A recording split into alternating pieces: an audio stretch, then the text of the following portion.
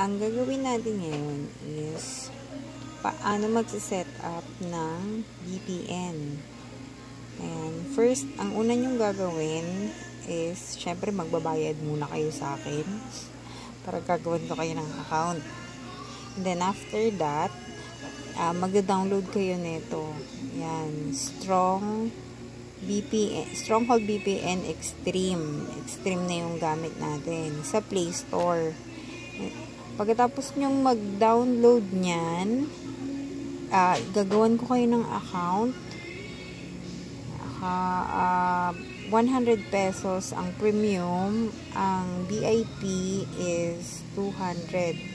May promo tayo ngayon na 300 ang 2 months. And 400 ang 3 months. Yan. Naka-promo siya. And then, pag na-download nyo na yan, ganito siya i-set up. Yan. Yan yung magiging loob niya. Tapos, bibigyan ko kayo ng account number. Ay, account number tuloy. Account, ano, uh, username, password. Dito nyo siya. Yan, dyan nyo siya ipapasok. Yan, dito sa account login. Yan. Yan, yung ibibigay ko sa inyong username, password, saan nyo ipapasok. Yan, i-input nyo dyan, and then, log in. Yan. Tapos, disconnect natin to. Yan. Yan. Kung premium yung account na kinuha nyo, wala kayong, wala, wala kayong ibang gagamitin, kundi premium lang. Yan. From dito sa Romania, ayan, hanggang dito. Basta lahat ng premium, pwede nyong gamitin yan. Kung mag, uh, kung mag-gaming ka, so ang gagamitin mo is gaming din. Saan ba yun? Gaming, gaming, gaming, gaming.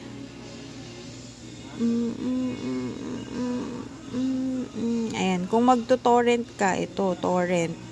Dalawa. Poland, France. Pwede mo siyang gamitin. And then, uh, kung VIP naman, ito, lahat ng VIP, pwede mo siyang gamitin. Kung private, yung account mo, lahat ng to, pwede mo siyang gamitin as a private. Yan. Kagaya sa akin, ang ginagamit ko is Philippines. Yan.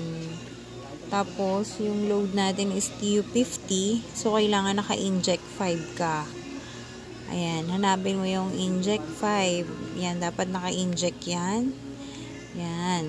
Tapos, dito mo titingnan kung account, kung yung account validity mo. Yan. Diyan lalabas yan dyan. Pindutin mo lang yan.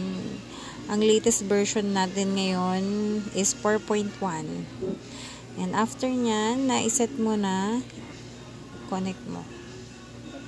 Yan. Minsan kasi nag-auto-connect na siya pagka sanay na yung phone mo sa VPN. Ayan. I-aantayin mo lang siyang mag-connect. Ayan. Pag ganyan, ayaw. Ayaw niyang mag-connect. Hanap ka ulit ibang browser. Ay, iba o ibang server pala. Ayan. Kunyari, sa Philippines.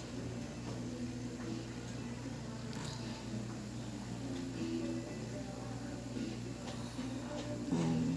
Mahina ang pasok ng signal. Yan, basta lahat ng VIP, pwede mo siyang gamitin. Yan.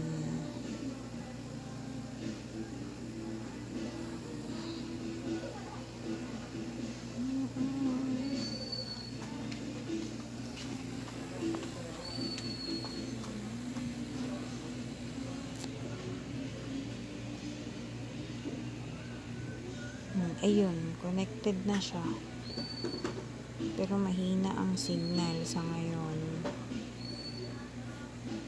yan, ganyan lang siya kasimple and then check natin kung okay na.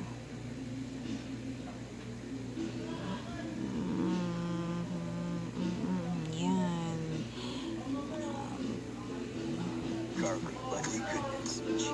Yan na siya. The ultimate cheesy garlic bread from Subway.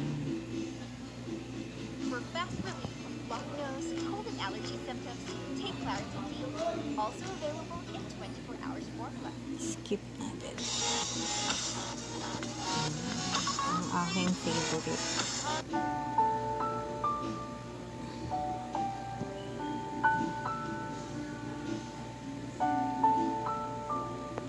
Okay na. Na-set up na natin. Yun lang.